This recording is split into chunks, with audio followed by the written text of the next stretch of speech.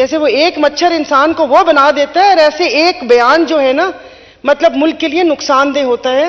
एक उसका ज़िक्र तो करते हैं ब्यूरोक्रेट का, कि जिसकी बेटी की शादी पे एक अरब सत्तर करोड़ के उनको सलामियाँ मिली, नाम नहीं लिया।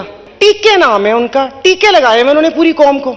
उनका नाम नहीं लिया, वो अभी भी बैठे हुए हैं। क्या अभी ये पैंतीस हज़ार वाले का बजट बनाकर दिखा सकते हैं? तो जाते हैं अपने हलकों में, गली मोहल्ले में भी जाते हैं। लेकिन मुझे ये समझ नहीं आती कि वहाँ पर उनको कौन सी लॉलीपॉप देकर आते हैं। इतिहाद में रहते हुए ये काम ना करवा सके तो फिर मेरा तो और बाकी जो इधर बैठे हुए उन सबका तो अल्लाह ही हाफिज है। बहसते पाकिस्तानी एक अवाम मैं कहती हूँ, मुझे नहीं चाहिए आईएमएफ का बजट क्योंकि मैं कुछ भी खरीदती हूँ, मैं तो उसमें टैक्स देती हूँ मैं। बच्चे मेरे प्राइवेट स्कूल में पढ़ते हैं, हिफाजत के लिए गार्ड प्राइवेट खुद रखा हुआ मैंने। सड़कें ऐसी खराब हालत है कि गाड़ी आए दिन खराब। अस्पताल, सरकारी अस्पताल में जा नहीं सकते। यहाँ पर बैठे लोगों का तो इतना कसूर है ही नहीं कि जो बाबू बनकर नब्बे नब्बे हज़ार रुपए पेट्रोल का भी लेंगे, यहाँ से गाड़ियाँ भी लेंगे, उसके लिए मैं और मेरी औलाद पिसेगी। दिल तो चाह रहा है कि कहूँ कि आज कुछ कहने को दिल नहीं। ऐसा कीजिए कि समझ लीजिए।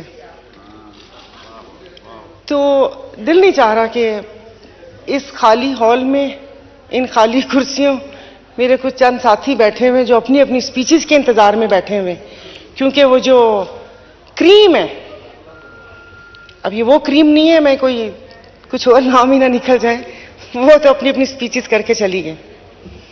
और मेरे पास कुछ लिखा हुआ भी नहीं है कि मैं स्टार्ट ऐसे लूँ कि आप भी स्पीच करके चले जाना ही आप। इन मुश्किल हालात में जैसे बात ये ना कि सुनने वाले सुने ना।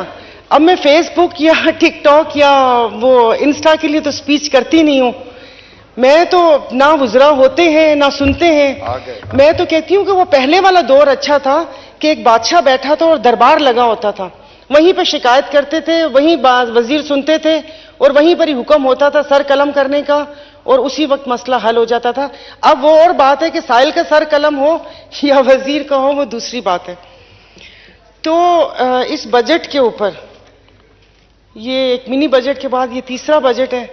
और मुझे लग रहा है कि जैसे जो बातें करूँगी वो वही रिपीट रिपीट रिपीट बातें क्योंकि कुछ असर तो हुआ नहीं किसी के ऊपर कि इन तमाम मामला के ऊपर नजरसानी हो।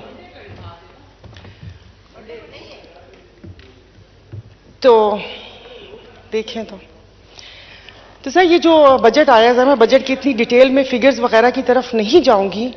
सरकारी मुलाजमीन की तनख्वाहें बढ़ाई हैं, पैंतीस फ़ीसद, बहुत अच्छी बात है कि पहले हमने उनकी बेज़ती की, कि ब्लैक मेलर्स यहाँ पर बैठे हुए हैं। फिर उसके बाद हमने पैंतीस फ़ीसद तनख्वाह बढ़ा दी। तो उस पैंतीस फ़ीसद तनख्वाह तो बढ़ाई है, लेकिन फिर चालीस फ़ीसद महँगाई बढ़ जाएगी। तो सरकारी मुलाजमीन का तो सोच लिया, लेकिन जो प्राइवेट सेक्टर वाले लोग हैं, उनका कौन सोचेगा? इन्होंने कहा कि वो कम से कम जो उजरत है, वो पैंतीस हज़ार तक, वो देगा कौन? कि आपने कभी सिक्योरिटी गार्ड्स देखे हैं कि उनको अठारह अठारह, बीस बीस हज़ार मिलते हैं और बारह बारह हज़ार उनसे वो क्या कहते हैं, बेगार नौकरी ली जाती है? तो उन सबको कौन देखेगा? जो घरों में काम करते हैं, जो प्राइवेट नौकर ड्राइवर माली, ये, वो, उनकी तनख्वाहों का कौन करेगा? पैंतीस हज़ार वो रखी है। लास्ट टाइम तो मैंने कहा था कि पचास हज़ार वाले का बजट बनाकर दिखा दें। क्या अभी ये पैंतीस हज़ार वाले का बजट बनाकर दिखा सकते हैं? तो अब सारी वही बातें हर चीज़ पहुँच से दूर हो चुकी है मगर मसला ये है कि मुझे समझ नहीं आती कि मेरे सब साथी हैं सब हल्के वाले हैं। और मुझे अ, इनकी देखती हूँ मैं सोशल मीडिया पे एक्टिविटीज़ तो जाते हैं अपने हलकों में गली मोहल्ले में भी जाते हैं। लेकिन मुझे ये समझ नहीं आती कि वहाँ पर उनको कौन सी लॉलीपॉप देकर आते हैं। मतलब क्या बताते हैं? जैसे अभी मेरे भाई ने कहा कि साल हो गया वो रोड नहीं बनी वो रोड नहीं बनी।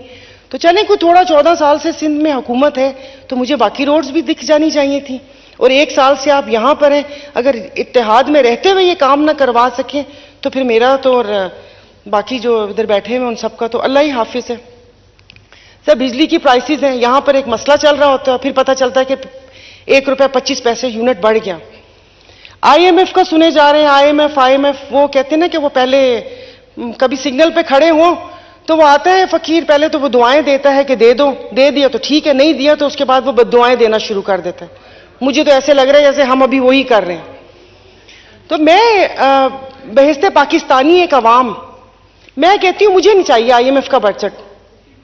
क्योंकि मैं कुछ भी खरीदती हूँ, मैं घर की ग्रॉसरी लेती हूँ, मैं पेस्ट, चीनी, पत्ती, तेल कुछ भी लेती हूँ, मैं तो उसमें टैक्स देती हूँ मैं। तो उस टैक्स से जो टैक्स ये कह रहे हैं कि इतना टैक्स कलेक्ट हुआ है और ये सारा कुछ हुआ उससे एक आम आवाम को क्या फ़ायदा? बच्चे मेरे प्राइवेट स्कूल में पढ़ते हैं हिफाजत के लिए गार्ड प्राइवेट खुद रखा हुआ मैंने। सड़कें ऐसी हा, खराब हालत है कि गाड़ी आए दिन खराब। हस्पताल सरकारी अस्पताल में जा नहीं सकते प्राइवेट अस्पताल में वहाँ पर जाकर अपनी खाल उतरवाते हैं वो भी उल्टी छुरी से। तो ये बजट क्या, ये जो बाबू बैठे हुए हैं, मुझे ये समझ नहीं आ रही कि 75 साल से आप लोग इतने जहाँ दीदा सियासतदान हैं, आपने इस ब्यूरोक्रेसी से जान क्यों नहीं छुड़वा रहे? सारी गालियाँ, क्योंकि अब इन चार सालों में हो गए, शुरू में थोड़े जज्बात और थे, सोच और थी, इस पाँचवें साल समझ आई है कि यहाँ पर बैठे लोगों का तो इतना कसूर है ही नहीं। यहाँ पर बैठे इन लोगों का इतना कसूर तो कब हम उनके चुंगल से आज़ाद होंगे? मतलब उनकी मरात के लिए, उनकी मोनेटाइजेशन के लिए कि जो बाबू बनकर नब्बे नब्बे हज़ार रुपए पेट्रोल का भी लेंगे, यहाँ से गाड़ियाँ भी लेंगे, उसके लिए मैं और मेरी औलाद पिसेगी। यहाँ पर रहने जोगा आपने पाकिस्तान मतलब अभी यहाँ पर बहुत अच्छी बात है हमारे वज़ीर दिफा साहब ने कर ली, उन्होंने माजरत कर ली। और मेरी अदी नफीसा शाह का कल बहुत अच्छा उन्होंने एक उससे वो किया था कि ये एक बयान कहाँ ले जाएगा, जैसे कि एक गुलाम सरवर साहब का बयान था। अभी यहाँ पर मेरे भाई ने ज़िक्र किया पीआईए का कि पीआईए यूरोप की फ्लाइट्स भी बंद हैं और सारा कुछ बंद है।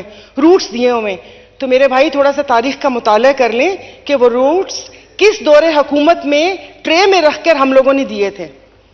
कि जिस पे गो स्लो की पॉलिसी अपनाई गई थी और उन गोली भी चली थी, वहाँ पर एक क्रू का शहीद भी हुआ था और लाठी भी बरसाई थी।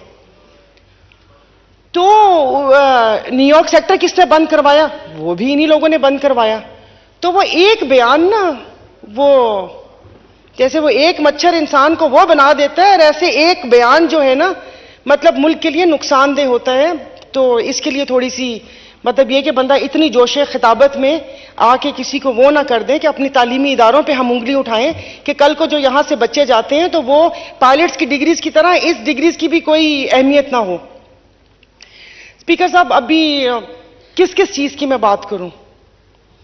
तकरीबन सभी बात कर चुकी हैं और मुझे हैरत भी है कि यहाँ से हुकूमती अरकान ने भी ऐसी ऐसी स्पीचेस की हैं कि वो लगता है कि ये हुकूमत में है ही नहीं। वैसे भी हुकूमत की फील आ नहीं रही। जैसे आप भगार लगाएँ या पुलाव का ढक्कन उठाएँ तो खुशबू आती है और आपको पता चलता है कि हाँ ये बना है। तो यहाँ से वो खुशबू आ नहीं रही है हुकूमत वाली, कि पता चले कि कोई हुकूमत भी है। क्योंकि हमारे वज़ीर दिफा मतलब वो एक उसका ज़िक्र तो करते हैं ब्यूरोक्रेट का, कि जिसकी बेटी की शादी पे एक अरब सत्तर करोड़ के उनको सलामियाँ मिली, नाम नहीं लिया। नाम नहीं लिया, टीके नाम है उनका, टीके लगाए हुए उन्होंने पूरी कौम को। उनका नाम नहीं लिया, वो अभी भी बैठे हुए वो अभी भी बैठे हुए और कल उन्होंने बोला था कि नाम नहीं लिया था, मैंने प्रोग्राम में नाम लिया था, बिज़नेस टाइकुन बिज़नेस टाइकुन क्या, मलिक रियाज नाम ले, उनका नाम है। बहरिया टाउन है उनका, अगर ये भी ना पता हो तो। तो यहाँ पर हम नाम लेने से क्यों घबराते हैं? गालियाँ खाएँ हम लोग। जहाँ पर जाएँ, वहाँ पर ये हो कि ये चोर, ये, वो, ऐसे मतलब ये कि बेवकूफ़ बना के कोई भी हम लोगों को इस किस्म के वो कर ले और फिर हम डरते भी रहे कि हमने उनका नाम भी नहीं लेना। क्यों नाम नहीं लेना?